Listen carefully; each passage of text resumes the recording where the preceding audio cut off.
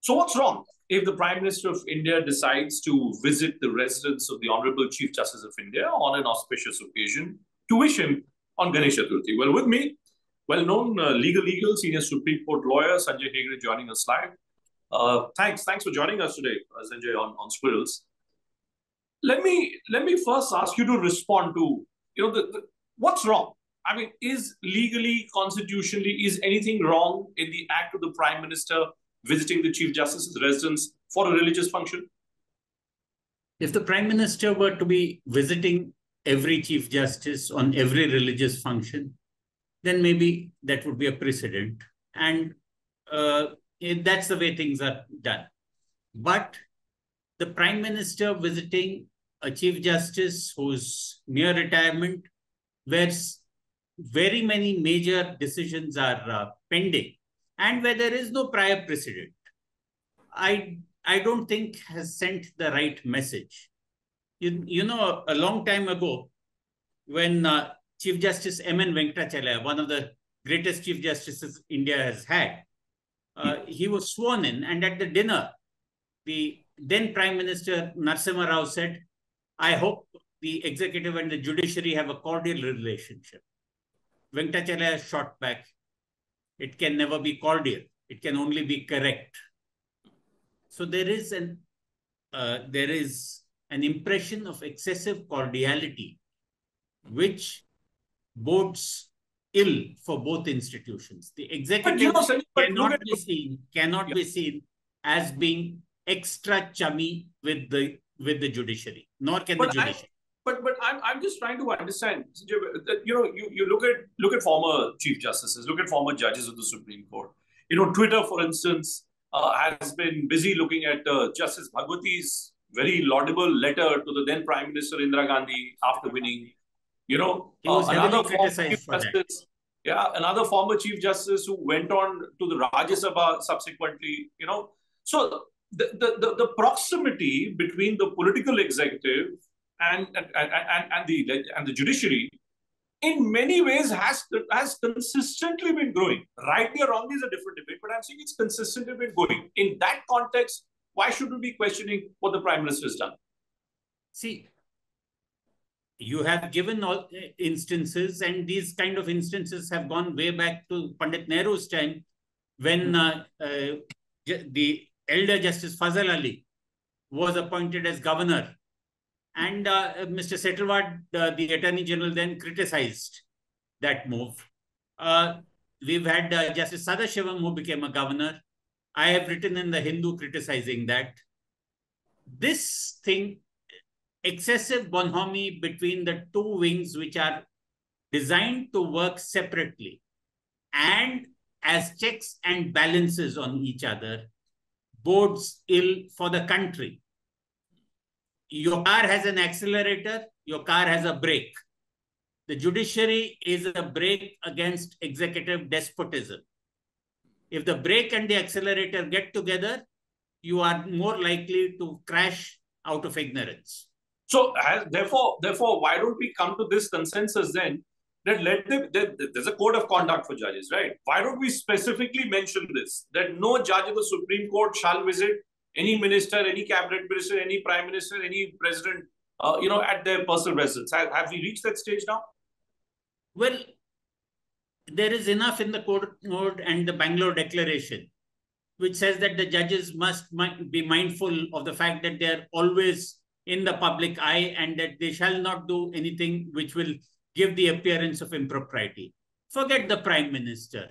Now, if you eh, if you had an industrialist turning up say, uh, saying uh, Ganpati Bappa Morya uh, eating a modak or two and, and leaving with no other conversation. But there, there were cases of that industrialist uh, uh, pending in the courts. What mm -hmm. kind of message would that take? I, I, I was giving people a football example. If you have, uh, um, what's it, the El Clasico, but uh, and the referee is, wear, is wearing a Barca uh, scarf. Hmm. What kind of message does that take? Hmm. So this is this may not be illegal or unconstitutional, but certainly does not give a proper. So what feel. are we talking about? So therefore, are we talking? Are we talking morality of the, the power play or the interplay which exists between the judiciary and the political executive? Since clearly you're in agreement, there's, it's not as if this is a constitutional question. It's not a constitutional violation. So do we look at this more through the prism of a moral question? It's not necessarily a moral question. It's also the a, it's also a question of the administration of justice. It's said that justice must not only be done, but be seen to be done. At an official function, bonhomie between in the uh, prime minister and the uh, chief justice, ritual handshakes and all that, all that is fine. But when you transgress into the public space, and ultimately, uh, forget everything. We, we judge people by, by who is let into whose house at what point of time. We know who, it's only our closest friends that come into the house or, or, or anywhere near our puja rooms. So they, this kind, every such interaction and that too, which is uh, in the glare of cameras, with the uh, video being sent out, they, uh, that does not send a healthy message. Is it I mean, true, I, the prime minister is a brilliant politician. He has got what he's wanted. Yeah, sure. You know, I, but but I was I've also been told that this visit of the prime minister to the chief justice's residence was actually at the invitation of the chief justice himself. So if the chief justice is inviting the prime minister, what shall the prime minister do? Well, the uh, let's let's put it this way: uh, the the chief justice, uh, the prime minister can always say, "Sir, you will continue to be in Delhi. I I will see I will see you next Ganesh Chaturthi." There are so many ways of politely turning down an invitation, and sometimes invitations are also sent in ritual fashion. Okay, everybody.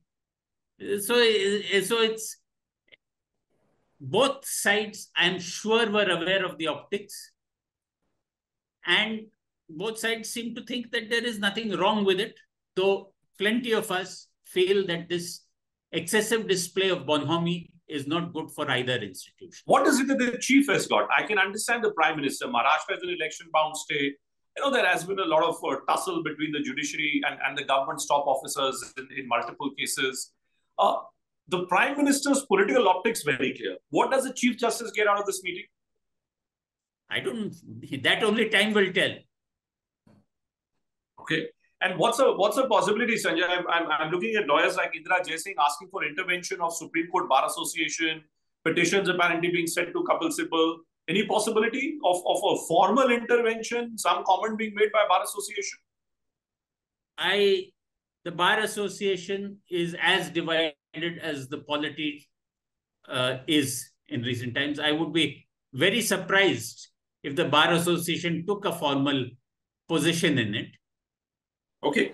All right, Sanjay. Always a pleasure speaking to you. Thank you so much. Thank you so much for joining us and telling this podcast. Thanks, Bhupen.